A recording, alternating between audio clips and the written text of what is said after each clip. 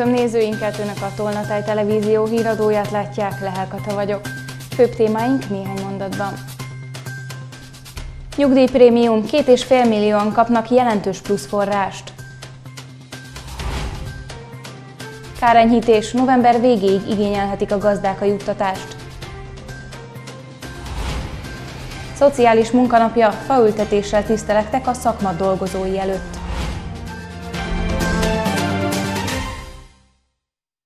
Sokan már megkapták a nyugdíjprémiumot. A kormány döntése nyomán két és fél millióan jutnak több mint 80 ezer forintos egyszeri plusz forráshoz.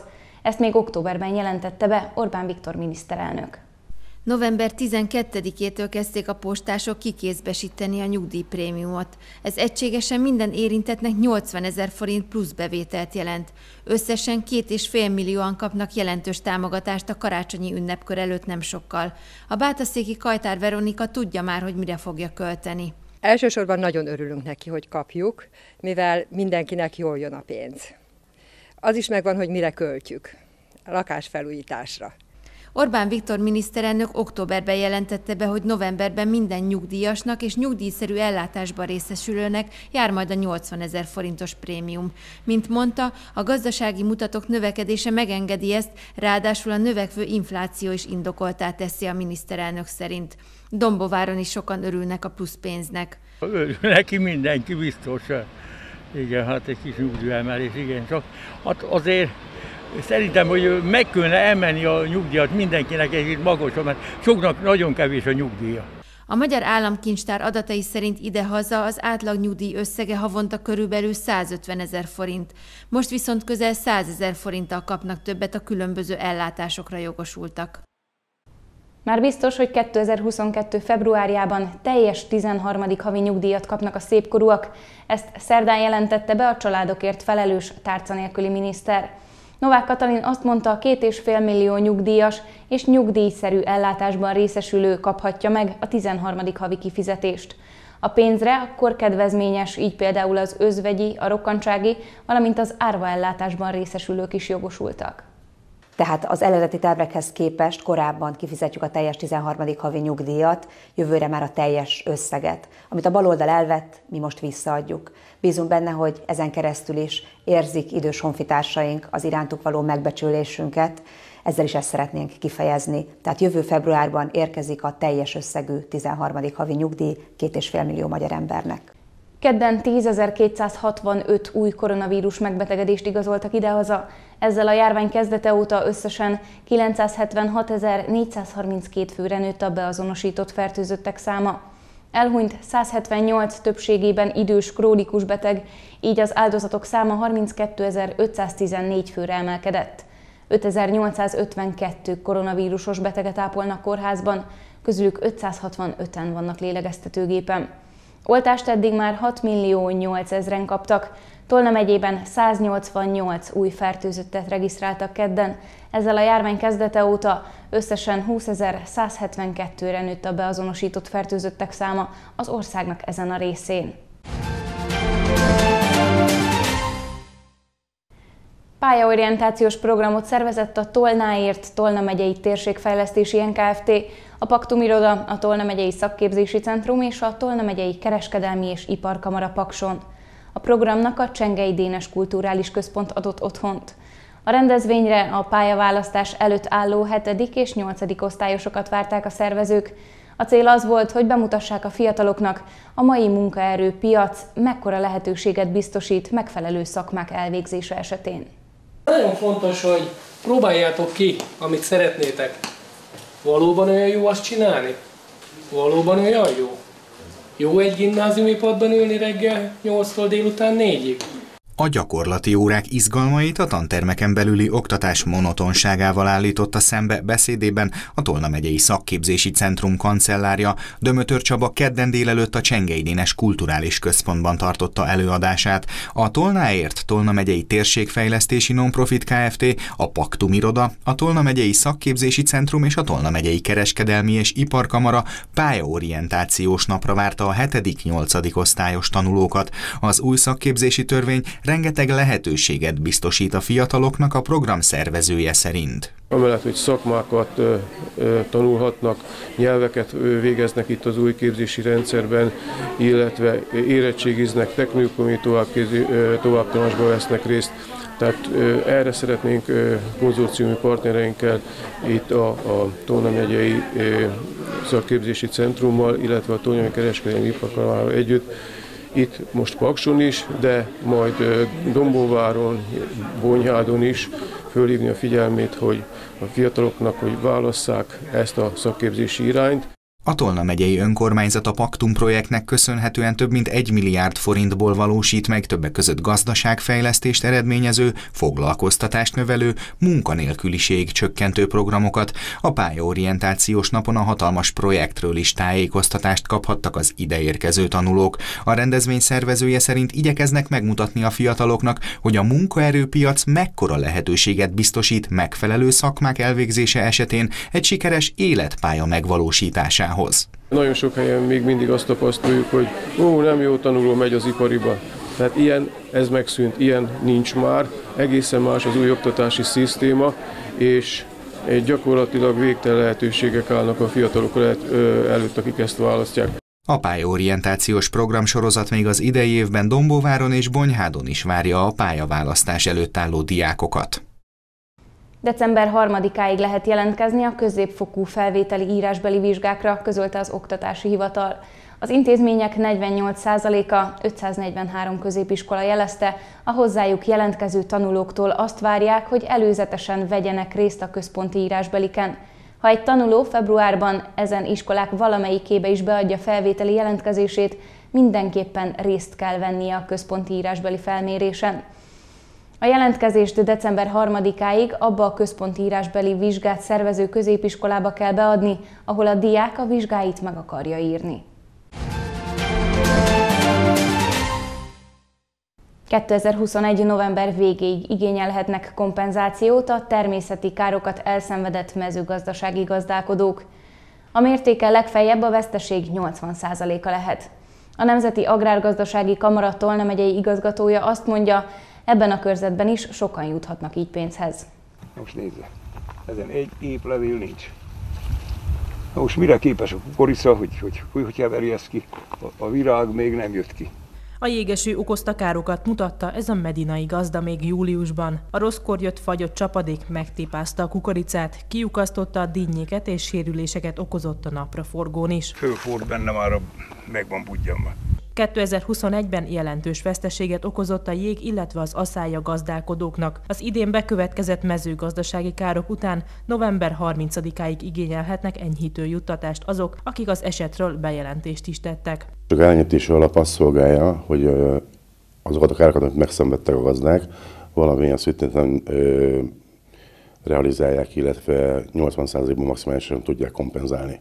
80%-os kompenzáció annyit jelent, hogy azon gazdálkodók, akik rendelkeznek üzleti biztosítással, ők jogosultak a 80%-os kárnyítési juttatásra. Azok a gazdák, akik utóbbival nem rendelkeznek, ők a 80% felére jogosultak. Botos Ferenc elmondta, hogy a kárenyhítő juttatás iránti igényeket a Magyar Államkincstár online felületén kell benyújtani. Itt szeretném felhívni a gazdáknak a figyelmét arra, hogy az idejében már tudnak kötni biztosításokat, alapbiztosításokat az üzleti biztosítóknál, illetve a jövő év tavaszán is meg tudják ezt tenni. Azért hívom fel a figyelmüket erre, mert igen szélsőséges időjárások vannak az elmúlt pár évben, és hogyha erre pénzügyre nem készülünk fel, és nem kezdünk el pénzügyileg tervezni ezzel kapcsolatosan, akkor ezek a károk egyre jelentősebbek lehetnek. A kártérítést legkésőbb 2022. március végéig kapják meg a gazdák.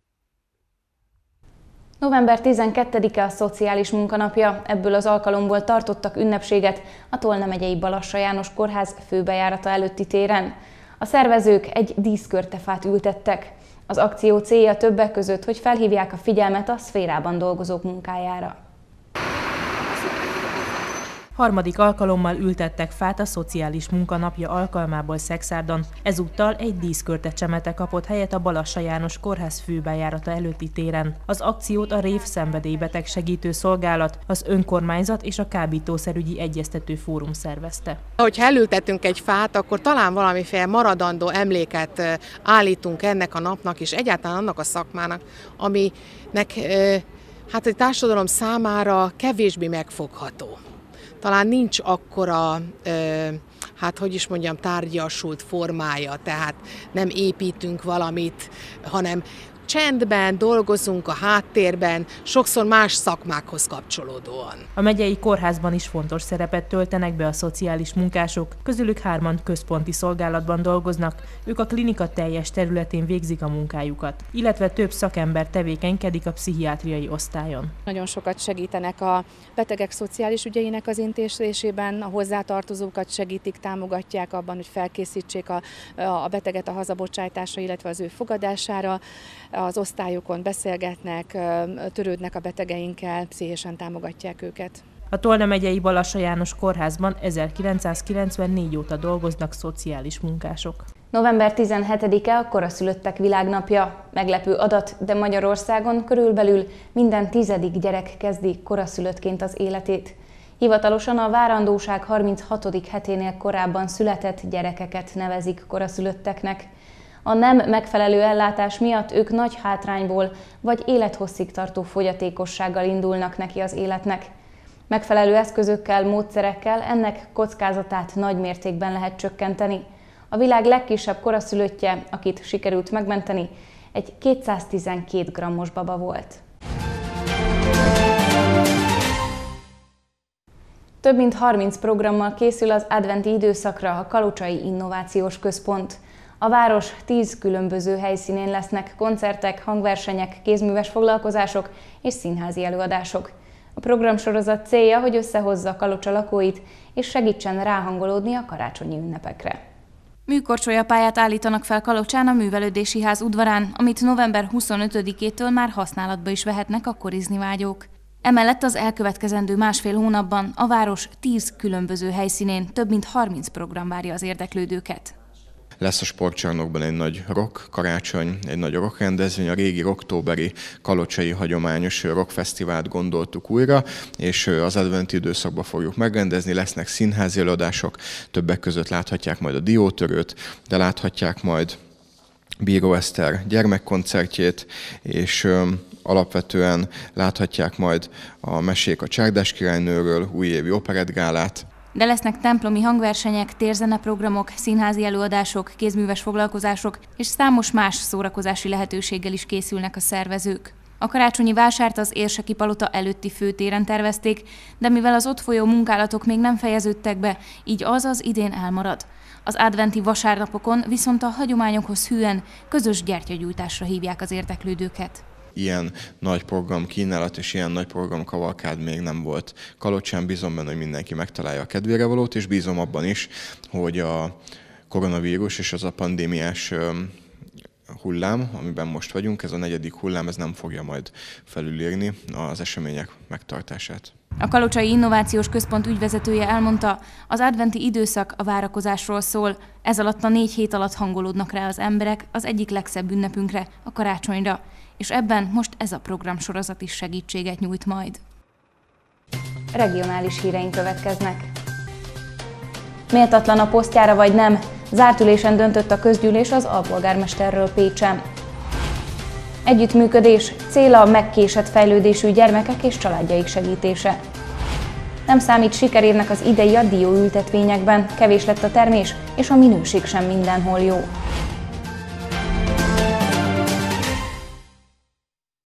A pécsi alpolgármesterrel szemben benyújtott méltatlansági eljárás kezdeményezése volt az egyik legjobban várt napirendi pont a közgyűlés keddi ülésén. Az MSZP és Nyögéri Lajos, a Momentum frakciója szerint nem alkalmas a tisztségviselői poszt betöltésére, mivel gazdasági ügyei miatt megbüntették korábban. Végül zárt ülésen döntöttek a pécsi képviselők az eljárás megindításáról. Az alpolgármester személyére vonatkozó indítvány volt az egyik érdekes napirendi pont a keddi közgyűlésen Pécset. Zárt ülésen döntöttek Nyűgéri Lajosról. A Momentum Pécsi frakciója napokban méltatlansági eljárást kezdeményezett az MSZP-s alpolgármesterrel szemben. Szerintük ugyanis Nyűgéri eltitkolta, hogy nem egy, hanem két ügyben is elmarasztalta korábban a NAV. Ezért eltiltották a cégvezetéstől, amely máig hatályos. Ezért sem a gazdasági bizottság elnöki elnökének, sem alpolgármesternek nem alkalmas, véli a Pécsi Momentum frakciója. Végül megszületett a döntés, maradhat tisztségében az MSP politikusa. Csak annyit mondok róla, hogy ha ezt a vitát, vagy ezeket a tényeket a választópolgárok ismerték volna, a 2019-es önkormányzati választáskor, meggyőződésem, hogy nem ez az eredmény született volna. Ennyit mondhatott az ártülésen elhangzottakról az ÖPKDNP politikusa. Azt korábban is tudni lehetett, megvan a városvezetői baloldal többsége ahhoz, hogy a pozíciójában tartsa az alpolgármestert. Ők ezt megtették, mondja Berényi Zoltán. A 14 nagyon bátor városvezető képviselő, aki egy egyre egyértelmű, nyílt és tiszta ügyben a jogi, technikai érvelés mögé bújva nem fogadta el ezt a napi rendet, pontosabban formálisan elfogadta, ezzel Pécs alpolgármestere maradt. Összesen tizen szavaztak amellett, hogy Nyűgéri Lajos méltatlan a pozíciójára. Ezért maradhatott alpolgármester. Mint ismert, a Momentum képviselői voltak azok, akik nem akarták aláírni azt a megállapodást, amely tiltja az önálló véleményformálást a városvezetői oldalon. Ezzel értett egyet Bognár Szilvia is. Ezért romlott meg velük és a korábbi alpolgármester asszonyjal a városvezetők viszonya, aminek következménye az lett, hogy eltávolították az alpolgármester asszonyt, illetve a momentumos politikusokat az önkormányzat bizottsági pozícióiból. Az iskoláskor előtti eltérő, megkésett fejlődésű gyerekek és családjaik hatékonyabb ellátása. Ez a célja a Gyermekút projektnek, melyben a Családbarát Magyarország központ munkatársai vesznek részt. Eddig már 23 módszertani kézikönyvet adtak ki, most pedig a felsőoktatással közösen segítenék többek között a szakemberek képzését ezért is kötöttek megállapodást a Pécsi Egyetemmel. Ezeket az ismertetőket adta ki eddig a Családbarát Magyarország Központ. A szervezet már 23 módszertani kézikönyvvel rendelkezik, melyek az iskoláskor előtti eltérő, megkésett fejlődésű gyermekek ellátását segítik. Egy Európai Uniós pályázatnak köszönhetően most a Gyermekút elnevezésű projekt keretében szeretnék támogatni a szakembereket abban, hogy a lehető legjobb válaszokkal, tanácsokkal lássák el a hozzájuk forduló szülőket hová kell elküldeni a gyermeket, ki fogja őt diagnosztizálni, milyen fejlesztő terápiás ellátásban kell majd részesülnie, illetve ki fogja ezeket nyújtani, ezeket az ellátásokat, mert azt tapasztaljuk, hogy sokszor a szülők bolyonganak az ellátórendszerben, mert nem tudják pontosan, hogy kihez forduljanak, és ennek megvan a maga útja. Most a Pécsi Egyetem bölcsészkarával kötöttek együttműködést, hogy ezt a folyamatot segítsék. A Pszichológiai Intézet vezetője a találkozón elmondta, hogy már 15 éves terv az, hogy létrehozzanak egy olyan központot, ami a kockázatcsökkentést és a prevenciót célozza meg ez ügyben. Emellett azt is szeretnék elérni, hogy a szülők segítése a terhes patológián kezdődjön el, az ellátáshoz kapcsolódóan pedig kutatást és képzést terveznek. Szeretnénk egy olyan mesterszintű képzést megalapítani, és aztán majd indítani, és most a megalapítás folyamatában vagyunk, ahol a bemenet ö, olyan szakem, BA-val rendelkező szakemberek lennének, akik terepen dolgoznak családokkal, tehát ez lehet ö, ápolótól kezdve gyógytornászon keresztül pszichológia BA-val rendelkező, tehát egy viszonylag széles paletta. A jövőben pedig edukációs központokat, vagy éppen szülői önsegítő rendszert is kialakítanának. A szakember hozzátette, hogy vannak ugyan jó ellátórendszerek, de sok a hiányosság, amit így szeretnének pótolni.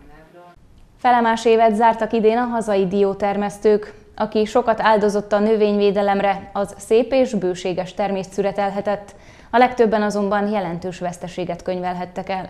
Most még a tavalyi áron árulják a dióbelet az üzletekben és a piacokon, de egy nagyobb hiány könnyen áremelkedéshez vezethet. 3500 és 4500 között van jelenleg egy kiló dióbél a kaposvári piacon. Ez már az idei termés. Omega-3 tartalma miatt a diót sokan szeretik, csak úgy magában is, de a legtöbben mégis különféle desszertekhez használják. Kettő unokahúgom van, azoknak szoktam sütni tortát, meg ilyesmit, és akkor abba szoktam beletenni. A dió különösen a karácsonyi időszakban kelendő a házi asszonyok körében, ám az ára miatt vannak, akik inkább lemondanak róla. Ott láttam olyan aprót 3000 hat ér, azt hiszem. Mégis ledaráljuk, arra jól lehet használni süteménybe, de nagyon magas ár ez. Most én egyedül vagyok, nekem nem kell, ahol család van, azért ott az egy kiló az szinte semmi, ugye? De nincs dió. nálunk nagy diósokon, nem nincs dió. A kereskedők szerint az első osztályú termés kilóját már évek óta aranyáron mérik. A tavalyi diónak a végára azt utoljára 4500 forinttal fejeztük be, ugye most akkor az idei diót azt 3800 forintért adjuk. Hát most, hogy karácsonyra drágább lesz-e, azt egyelőre nem tudjuk. Az árat az is felfelé nyomja, hogy a gazdálkodóknak egyre többet kell költeniük a növényvédelemre, mert újabb és újabb kártevők jelennek meg a klímaváltozás hatására. Idén az időjárás is kedvezőtlenül hatott az ültetvényekre. Most a tavaszi fagyok is nagyon sok termést elpusztítottak, ugye május közepén végén volt egy nagy fagy, az, a virágzásban ez nem volt előnyös, valamint ez az újféle kártevő, a dióburok furó légy nagyon-nagyon sok diót tönkretesz. A termésnek 20-30%-át, akár még a felé is képes tönkretenni. Védekezni ellene csak permetezéssel lehet, tehát semmiféle bio védekezésre nincs lehetőség, mert természetes ellensége sincs neki. A legutolsó felmérések szerint Magyarországon több mint 6000 hektárnyi dióültetvény van, az egyik legnagyobb itt Somogy megyében, Lengyeltóti határában található. Végül mutatjuk újra röviden, hogy miről szólt a híradó. Nyugdíjprémium, két és fél millióan kapnak jelentős plusz forrást. Kárenyhítés, november végéig igényelhetik a gazdák a juttatást. Szociális munkanapja, faültetéssel tisztelektek a szakma dolgozói előtt. Csütörtökön kezdetben még sokfelé párás, ködös reggel várható, napközben csak elvétve fordulhat elő, akkor is jelentéktelen szemmerkélés. Számottevő csapadék nem érkezik. Éjszaka eleinte változó, szakadozó, majd zártabb felhőzet érkezik fölénk, fagy nem valószínű. Friss hírekkel legközelebb csütörtökön este jelentkezünk, addig is kövessék műsorainkat, illetve keressenek minket a Facebookon, ahol naponta friss hírekkel, érdekességekkel várjuk Önöket. Ha látnak valamit, ami Önök szerint figyelemre méltó, akkor azt osszák meg velünk, hogy másoknak is megmutathassuk. Mára köszönöm figyelmüket, viszontlátásra!